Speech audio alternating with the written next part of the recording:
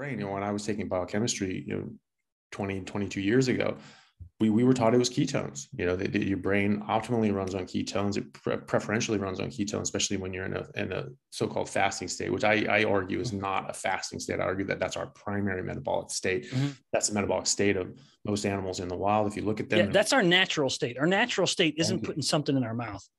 I am putting together a session and, and it's all about the changes in human diets over, you know, our ancestor diets um, over these periods of evolution uh, and, and I want you to talk about the brain acting as a hybrid. And in my preparation for this talk, I found uh, a paper that had been published in like the most dynamite anthropology journals, the Journal of Human Evolution, I think it was called. I don't really remember, but it's their really great journal that everyone wants to publish in.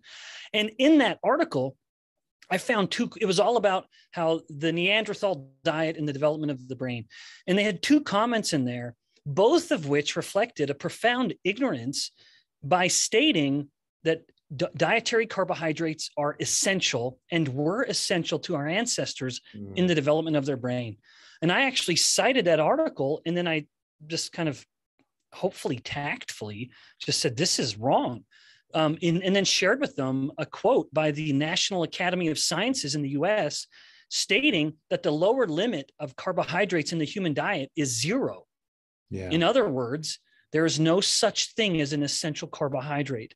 And the whole the idea that the human brain evolved because our ancestors ate a lot of carbs, that's utterly ridiculous. And that's basically the impression I gave the audience, hopefully not too offensively, but I had many many people come up to me afterwards very very grateful um, maybe the the haters and the detractors didn't bother coming up, but no one said no, no one uttered a negative word. It was just absolute gratitude at learning this reality of human biology and physiology, which is that yes, it, it's because they mistake dietary carbohydrates with blood glucose. That right. it appears what does appear to be the case is that the brain has some demand for some glucose. That appears to be accurate, although the lower limit is unknown early work by a, a, fasting physiologist named George Cahill, he was putting people's glucose down to like 20 milligrams per deciliter, which most people would say you're unconscious, you're in a coma, and you're going to die. And these people, because they've been long term fast adapted, which I would say ketone adapted, there appeared to be no deficit to cognition. I mean, that's a pretty bloody low level of, of glucose.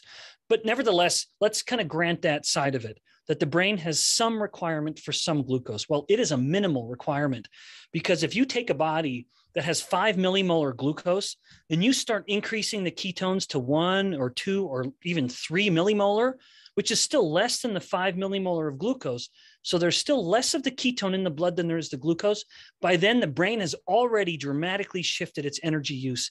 And even though the ketone may be less than half of what the glucose is in the blood, it's now providing double you know twice as much of energy to the brain as the glucose is so if the brain has any preferential fuel it is absolutely for the ketone you can take a newborn baby and the baby can breastfeed or bottle feed and then within an hour the baby is in a deeper state of ketosis than an adult would be after fasting for 20 uh, for, for a full day you know and, and i mean so if, if there's any natural state kind of back to our conversation a moment ago it is clearly that a natural state is a state of ketosis.